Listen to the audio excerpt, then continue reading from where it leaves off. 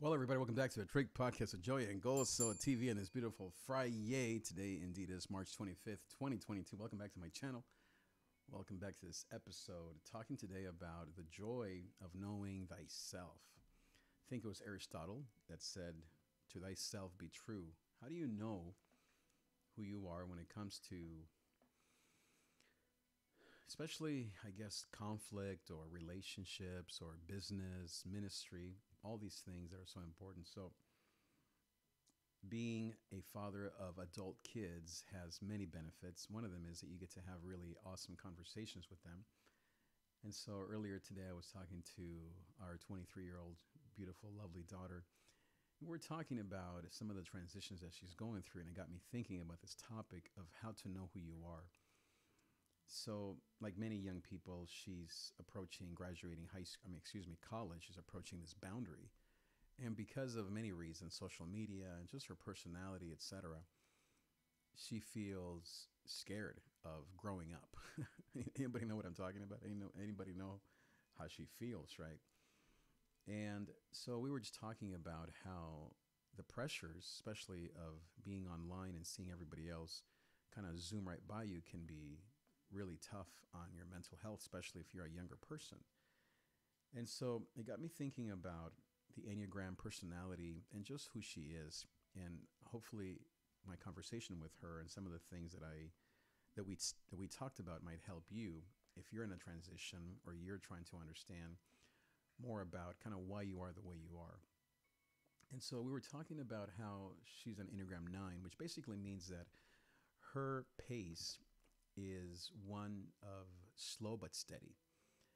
And if you don't know the Enneagram, there are basically three personality types or three centers of intelligence. There are those who are aggressive, future oriented, those who are in the moment, that are more present oriented, and then those that are more dependent or that are past oriented. So she is a past oriented person. So when it comes to boundaries, you might be this way, she will tend to look at how difficult these boundaries are. And I was helping her understand that that a way to to work through some of those issues and fears and frustrations is to know your own values and how you do things. So basically your values and your function, the why and the how. And so I was telling her that it is important for any of us to know who we are and how we do things. Otherwise, people will then criticize or will just maybe walk all over you. Or maybe you yourself will just feel like you should be doing this or that or the other. And so, fear, guilt, and shame, all those wonderful things, they can creep in. And so, we were talking about how the value of just knowing who you are. And so, obviously as her father i was just reminding her how since she was a little baby she's always been a steady slow one thing at a time kind of person. And even though these days it's all about go go go hustle hustle culture there are certain personality types that do best their best work when they are themselves. To thyself be true. And then the how i was asking her when does she create the her best work she's into modeling, she's into videos and, and product placement, and influ- she's an influencer, etc. And she was saying that basically she does her best work about once a week. Is there's kind of like a day where she really focuses, and the rest of the time she's sort of just thinking and creating internally. And there are other types of people, of course, who are different. They're kind of like metal to the kettle or whatever, and they just work nonstop. And that's how they succeed. Other people might be more collaborative.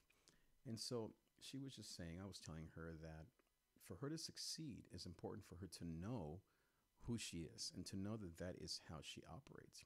And then the how is to say, let's say, to a business partner, to a potential employer, to say, this is how I do my work. This is when I create the best work.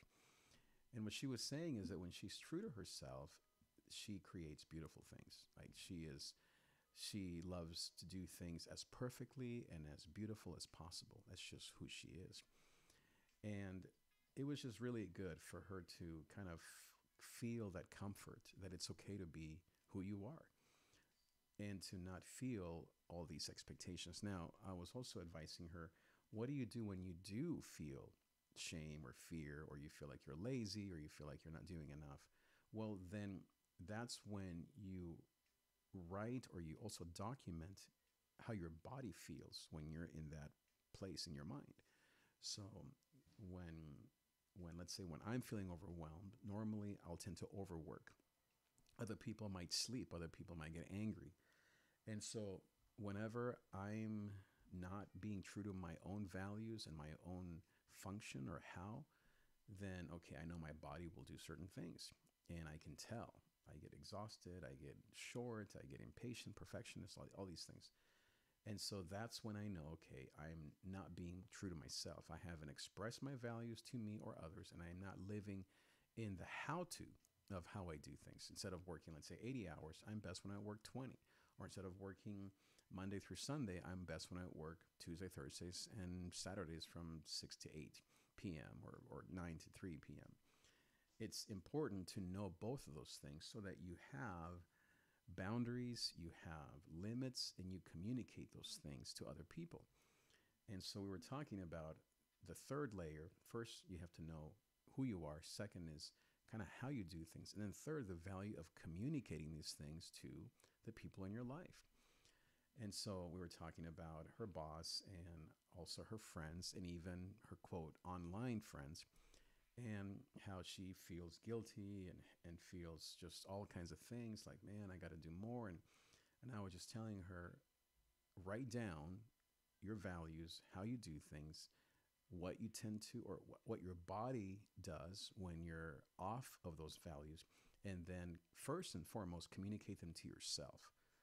To me, that's the most important person that needs to hear those things is us because we're the ones that forget and we're the ones that then get in trouble.